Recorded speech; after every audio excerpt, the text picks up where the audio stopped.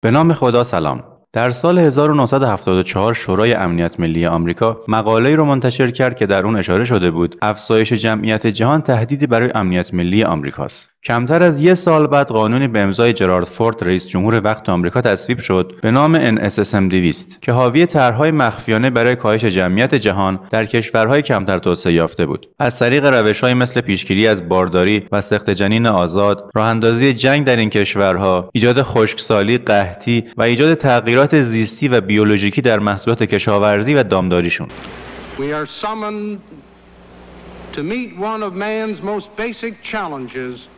Hunger.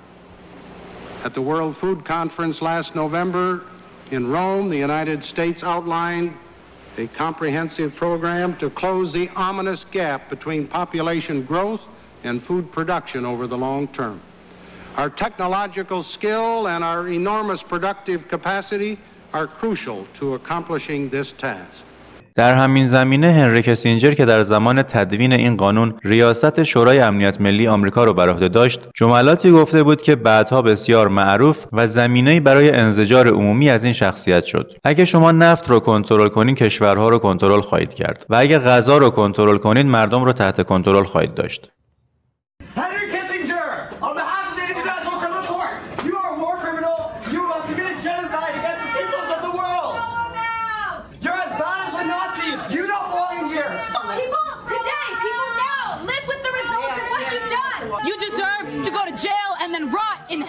یکی از روشهایی که در این طرح مخفیانه برای کاهش جمعیت جهان گنجانده شده اینه که با خارج کردن مخفیانه بذرها و دانه های ارگانیک کشورها را دچار مشکل کمبود بذر محصولات کشاورزی کنیم و بعد با تولید و عرضه بذرهایی که عقیم هستند و اصلاح ژنتیک شدن تا سمی باشند دو کار رو صورت بدیم. با عقیم بودن این بذرها وابستگی این کشورها به خودمون رو افزایش بدیم. این کشورها مجبور باشن هر ساله بذر جدید از ما بخرن. و این یعنی اقتصاد. و هر زمان اراده تحریم یا از بین بردن جمعیتشون رو داشته باشیم با امتناع از فروش این بذرها ایجاد قحطی کنیم. با اصلاح ژنتیک کردن این بذرها و وارد کردن ژنهای مخرب شیمیایی و سمی بدن مردم رو بیمار کنیم. بیمار شدنشون مساوی با فروش بیشتر داروها و محصولات پزشکی خودمون. و این باز یعنی اقتصاد و در مجموع یعنی کنترل. سالهاست علاوه بر محصولات کشاورزی محصولات دامی و گوشتی هم به همین روش تغییر داده شده. از مرغهای پرورشی بگیر تا ماهیهای پرورشی گاوهای هورمونی و اخیرا هم گوسفندایی که از ترکیب ژن گوسفند و سگ تولید شدند. اما میریم سراغ بحث برنج. حداقل از سال 1993 یعنی از 27 سال پیش برنج تراریخته وارد بازار شده. بنا به نقل پایگاه اطلاع رسانی بیوتکنولوژی ایران گفته میشه این برنج ها در برابر آفات برنج مثل آفت پروانه ای و کرم ساق خار مقاوم میشن و نیازی به استفاده از آفتکش های شیمیایی ندارن. در تولید بذر تراریخته میان سم بیتی رو وارد ژن گیاه می‌کنن. وقتی حشره یا آفتی این گیاه رو بخوره گیاه این سم رو از خودش ترشح می‌کنه. سم وارد دستگاه گوارش حشره میشه تخریبش می‌کنه و باعث مرگش میشه.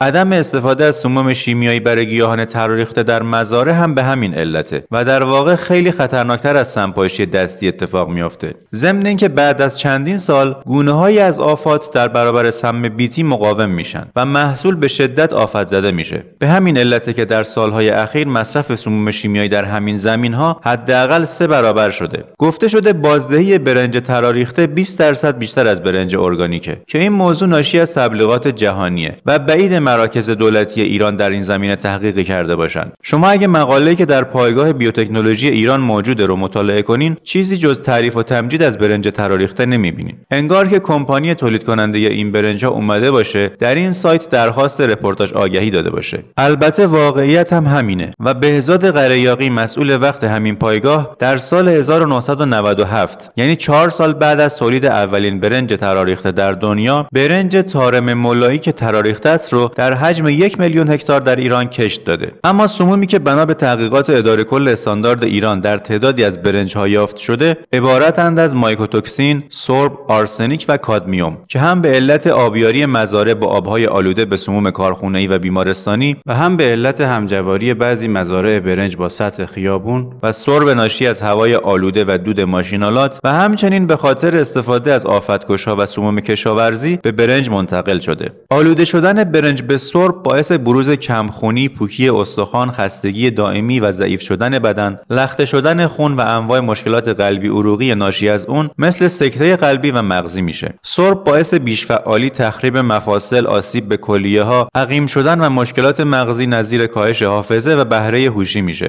مصرف بالای سرب در زنان باردار باعث سخت جنین مردزایی زایمان زودرس و تولد نوزادان ناقص الخلقه میشه. برنج سریعتر از هر ماده دیگه آرسنیک رو به خودش جذب می‌کنه. برنج قهوه‌ای بیشترین میزان آرسنیک رو داره. آرسنیک به شدت سمی و کشنده است. در دوزاژ پایین یعنی در همین مقادیری که در برنج وجود داره و در طی زمان باعث ابتلای فرد به سرطان پوست تخریب کبد و روده سرطان ریه سرطان مثانه انواع بیماری های قلبی عروقی و دیابت میشه. کادمیوم ماده با سمیت بالاست که در برنج های مورد آزمایش وجود داشته و باعث ادم ریوی یعنی همون تجمع مایع در داخل ریه ها و خفگی کمخونی انواع بیماری های استخوانی درد استخوان ها تخریب کبد و کلیه و انواع سرطان های گوارشی میشه. مایکوتوکسین ها حدوداً 50 نوع و سمی هستند که باعث بروز سرطان کبد و تخریب سلول های کبدی کبد چرب تضعیف سیستم ایمنی سیروز کبدی عقیم شدن سخت جنین و سرطان روده بزرگ میشن. مسئله بعدی افزودنی های مجاز برنجه که با اهدافی خاص مثل افزایش ماندگاری یا سریعتر پخته شدن به برنج اضافه میشه. طبق فایلی که در سایت وزارت بهداشت و آموزش پزشکی ایران منتشر شده و قابل دانلوده این مواد به برنج اضافه میشه.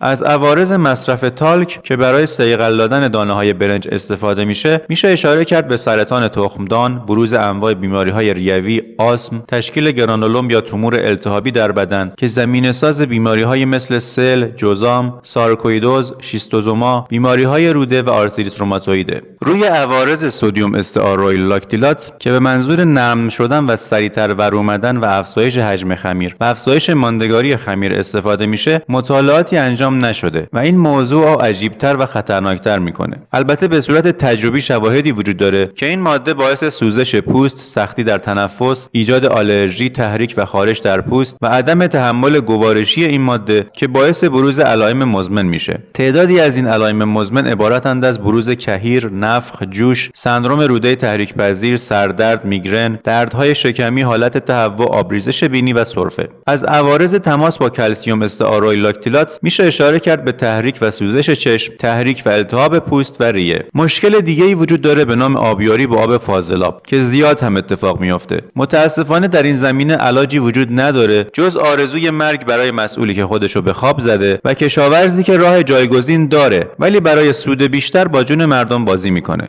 اما تعدادی از برندهای برنج در ایران که سمی بودنشون اثبات شده عبارتند از صدری هاشمی آستانه اشرفیه تارم محلی معطر فریدون کنار سیاه دم هاشمی دودی رشت اویلا و ستایش آریا خاطره 181 پاندا برنج محسن مهکلاسیک آفرین مژده کریستال جادوگر برنج کمال ملکی توبا طلایی برنج بابانور هند و برنج زیتون پاکستان. از انتشار این لیست حداقل چهار سال میگذره. یعنی به این معنی نیست که برنج ها و برندهای دیگه سالم هستند دولت ها که کاری نمی‌کنن. مردم در رابطه با سلامت برنج باید چیکار کنن؟ تنها یه روش برای سمزدایی از برنج وجود داره که در بعضی موارد تا 80 درصد سموم رو از بین می‌بره. تنها راه اینه که برنج رو قبل از پختن به مدت حداقل 24 ساعت در آب بخیسونین. اگه تونستین در طی این 24 ساعت چند بار آبش رو عوض کنین. موقع پخت هم به هیچ وجه دمی درست نکنین و آبکش کنین و آبش رو دور بریزین. کشاورزا باید چیکار کنن؟ راه مبارزه طبیعی با آفات رو یاد بگیرن. مثلا برای مبارزه با کرم ساق خار از زنبور تریکوگراما استفاده میشه. که تخم آفت رو از بین می‌بره و کم رو هم می‌خوره. روسیه و چین بزرگترین استفاده کنندگان از زنبور تریکوگراما برای مقابله با آفات هستند. اگه برنج ارگانیک و کاملا سالم باشه به علت داشتن منیزیم باعث تقویت استخوانها سیستم عصبی و ماهیچه ها میشه. به علت دارا بودن نشاسته باعث سلامت روده ها میشه و از سرطان روده پیشگیری می‌کنه. اگه به همراه سبوسش مصرف بشه خطر ابتلا به بیماری های قلبی عروقی رو کاهش میده. برنج چون گلوتن نداره اونایی که که مبتلا به بیماری سلیاک هستن می‌تونن بدون مشکل مصرفش کنن. حدود 60 درصد برنج کربوهیدراته و این موضوع باعث میشه ورزشکارایی که به انرژی سریع و زیادی نیاز دارن با مصرف برنج بهش برسن. برنجی که به همراه سبوسش مصرف میشه بسیار بیشتر از برنج سفید حاوی مواد مغذی و انرژیزاست. برنج ارگانیک یعنی برنجی که بذرش تراریخته نباشه. برای تولیدش از کود شیمیایی سموم و آفتکشا استفاده نشده باشه. زمینی که توش کشت میشه حاوی مقادیر بالای سموم مثل آرسنیک سرب و کادمیوم نباشه. با آب آلوده آبیاری نشده باشه. افزودنی های مجاز و غیر مجاز رنگ عطر نگهدارنده و تم دهنده بهش اضافه نشده باشه و اصلا بسته‌بندی و کارخونه ای نباشه. چون به این بسته‌بندی ها حتما مواد افزودنی می‌زنن. برای اینکه مضرات برنج ارگانیک و سالم به حداقل برسه باید اونو مدتی در آب خیسوند و بعد به همراه زیره سیاه یا شوید و یا مقدار کمی زعفران پخت که این سه ماده مصلحش هستن. سایتی هست به نام انجمن ارگانیک ایران که فهرستی از تولید کنندگان و کشاورزانی که محصولات ارگانیک تولید می‌کنن رو معرفی کرده و شماره و آدرسشون رو گذاشته. حالا اینکه تا چه حد راست باشه رو خدا می‌دونه. میریم سراغ بخش رو حفظا و ببینیم سرورانم درباره برنج چی گفتن. قال رسول الله صلی الله علیه و آله و سلم برترین خوراک دنیا و آخرت گوشت و سپس برنج است. برنج غذای خوبی است. باعث اتساع روده ها می شود و بواسیر را قطع می کند به بیمار مبتلا به اسهال نان برنج بخورانید. زیرا چیزی سودمندتر از آن وارد شکم وی نمی شود معده را پاک و بیماری را به آرامی از بدن خارج می کند برنج در میان خوراکی ها به سان رئیس در میان قوم است. به شکم شخصی که بیماری سل دارد چیزی مفیدتر از نان برنج وارد نمی شود مسلمانان تا وقتی که به پوشیدن لباس غیر مسلمانان و خوردن غذای آنها رو نیاورده مشکلی نخواهند داشت. اما وقتی به فرهنگ آنها رو آوردند خداوند نیز ذلت و بیچارگی را بر آنها چیره می کند It has not been our policy to use food as a political weapon despite the oil embargo and recent oil price and production decisions. برای مقابله با اونهایی که میخوان ما و شما رو از طریق برنج از بین ببرن تصمیم دارید چیکار کنید بنویسید